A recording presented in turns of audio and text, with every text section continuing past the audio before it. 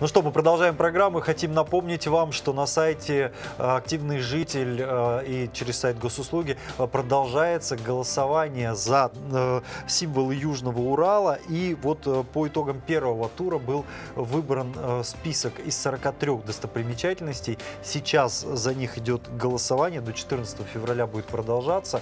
И будет выбрано 10 самых главных символов Южного Урала. Да, и мы продолжаем вас знакомить с самыми живописными местами местами нашей области. Ну, в принципе, вы их, конечно же, все знаете, но не грех еще раз посмотреть. Например, э, среди которых да, национальный парк Зюраткуль, это Саткинский район. И сейчас мы поговорим с Мариной Фоминой. Да, Марина Фомина, пресс-секретарь Национального э, парка Зюраткуль. Доброе утро. Доброе утро. Доброе утро, телезрители ОТВ и э, доброе утро, Анна и Павел. Рада снова вас видеть. Мы, Мы вас тоже. тоже рады видеть. Вот знаете, мне кажется, что когда говорят, ну вот что у вас там на Южном Урале посмотреть, первое, что возникает, это вот Зюраткуль. Ну, Зюраткуль. Конечно, Зюраткуль. Зачем вам вообще участвовать в этом конкурсе? Зачем вам еще одно звание? Итак, национальный парк, все хорошо. Да, а с национальным парком все хорошо, с этим званием, но вы представляете, как престижно получить звание а, символа Южного Урала. Тем более, что национальный парк это излюбленнейшее место отдыха всех южноуральцев. И не только а, приезжают к нам туристы из соседних регионов, из Москвы, из Санкт-Петербурга. И действительно, национальный парк Зюраткуль, он на слуху. Ну, потому что красоты, ну, потому что когда ты приезжаешь и видишь это все, а, по легенде ты оставляешь частичку своего сердца и хочется возвратиться обратно. Вы знаете, кстати, нашу передачу смотрит не только наш регион, а даже и другие страны. Да. Давайте мы еще раз напомним, в чем же уникальность, особенность национального парка. Ну, у нас в национальном парке Зюраткуль прежде всего одно из самых, самых красивейших мест. Это, конечно же, а, самое высокогорное озеро, озеро Зюраткуль. Напоминает форму сердца, и как раз-таки по легенде хочется возвращаться туда снова и снова. Одна из самых популярных а, троп и маршрутов а, на хребет Зюраткуль посещают очень большое количество туристов и местных, и областных, и из других регионов. Самая излюбленная зимняя достопримечательность – это, конечно, знаменитый ледяной фонтан. Ледяная сосулька, как называют ее в народе. А, Еще очень классно приезжать в наш а, реабилитационный центр Дом Лось Сахатка. Почему? Потому что, когда вы приезжаете, к вам из леса выходят настоящие ручные лоси. Вот. А, да, у нас сейчас еще появился косуленок, тоже можно подойти и погладить. Вот. Ну и, конечно же, почему звание, звание главного главного символа Южного Урала, потому что у нас на территории самая высокая точка Челябинской области – это хребет Нургуш. Добраться достаточно сложно, но оно того стоит, когда ты приходишь и на 360 градусов ты видишь красоты, хребты, горы, озеро. Ну, это потрясающе. Мариночка, но ну все эти красоты, конечно же, привлекают не только, еще раз напомню, нашу область. Кто к вам приезжал? Э, может быть, э, кто-то... Какова география да. туристов?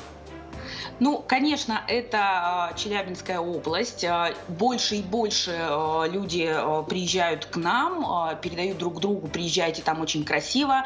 Это, конечно, Тюменская область, это Ижевск, это Пермь, это Москва, это Санкт-Петербург и, конечно, соседняя это Башкирия. К нам очень любят приезжать.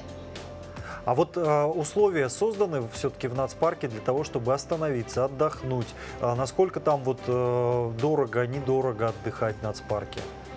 А, отдыхать а, абсолютно есть на любой вкус и, как говорится, кошелек. То есть от 500 рублей с человека можно приехать и отдохнуть. Есть гостиницы, звездные гостиницы, есть с удобствами, есть без удобств для того, чтобы ощутить вот этот вот экологический туризм и печку топить, например, а, самим. Очень много и гостевых домиков, и ресторан есть, и другие гостиничные номера есть.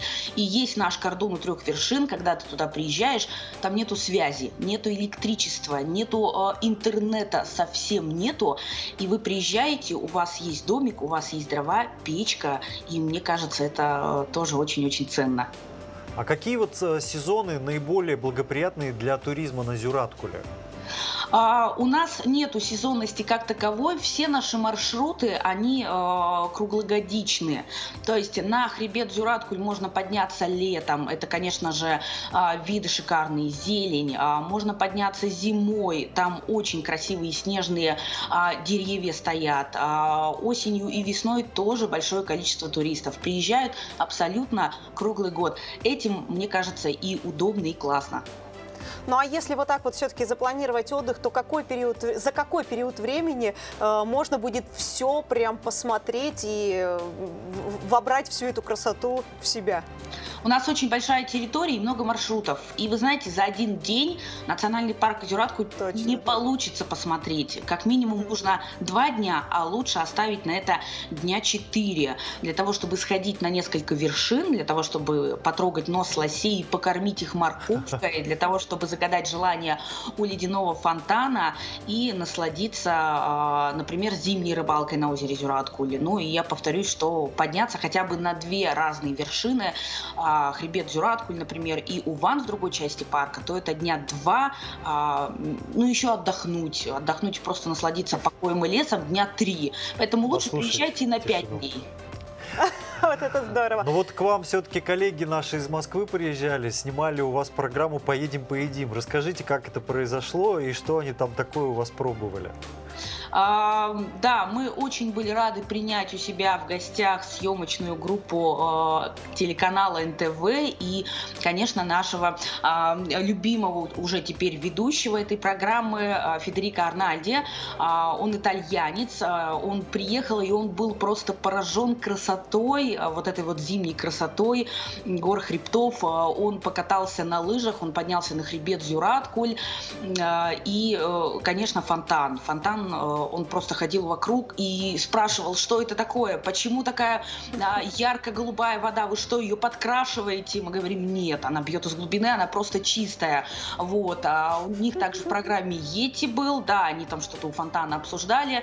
Но и потом, когда к лосям приехали, они долго очень не верили, что это, это что-то коммерческое. Я говорю, нет, представляете, а, маленьких лосят к нам привозят, мы их э, выхаживаем, выращиваем, и потом, что очень важно, выпускаем в лес на свободную жизнь. Кто-то из них возвращается, кто-то нет. И э, Федерико, э, он, он, правда, замерз, потому что это уральские морозы были, но ему очень понравился кордон, потому что там виды красивые, и потому что там, правда, за ним ходили э, трое лосей и просили у него морковку. А что он попробовал из еды? Все-таки «Поедем, поедим» программа называется. А, ну, а, он пробовал а, различные Соль для лосей. Мяса. Соль для лосей нет, он не попробовал морковку, он тоже немножечко попробовал, вот. И а, у них там были различные виды сала и мяса. Это вот я точно знаю, что они у нас на территории пробовали. А дальше они уже поехали в мяс, и там немножечко уже другое ели. Марина, спасибо вам большое. Очень интересный рассказ. Голосуем за парк Зюраткуль в конкурсе «Символы Южного Урала». Марина Фомина, пресс-секретарь Национального парка Зюраткуль была, была с нами рада. на связи. До свидания. Доброго дня. Спасибо, спасибо. Ну что ж, немножечко переместились мы и в Саткинский район, а теперь мы хотели бы попрощаться с телеканалом ОТР, со всеми зрителями, кто смотрел нас на этом канале. Наше время тут заканчивается, но мы продолжаем еще полчаса передачи у нас будет на телеканале ОТВ. У нас впереди еще розыгрыш э, э классных билетов, да, да, поэтому, пожалуйста, не пропустите, впереди интересные темы. Э, день только начинается, если у вас есть время, пожалуйста, оставайтесь с нами. Итак, небольшой небольшая пауза, и мы продолжим.